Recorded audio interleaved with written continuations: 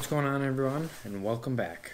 It's been a while since I posted anything, um, and there's a few good reasons for that. So here's a quick update on everything that's going on. So I've been posting some autocross videos throughout the season, as you've probably seen, um, and that's pretty much it.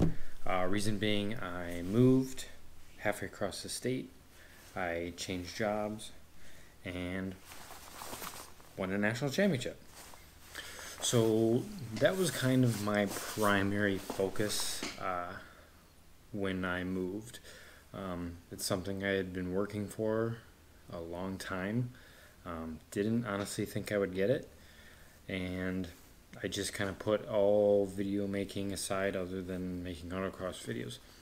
That being said, I forgot my camera for nationals, which I'm kind of upset about, being the fact that I won.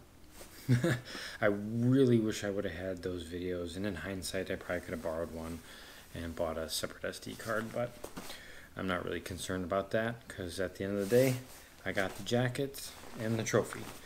Um, so yeah, that's kind of where I'm at.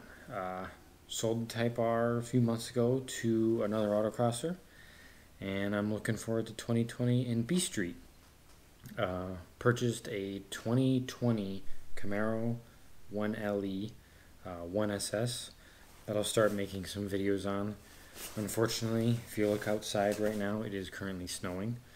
Um, yay. And uh, yeah, it's kind of where we're at. Just uh, waiting for spring and waiting for this autocross season.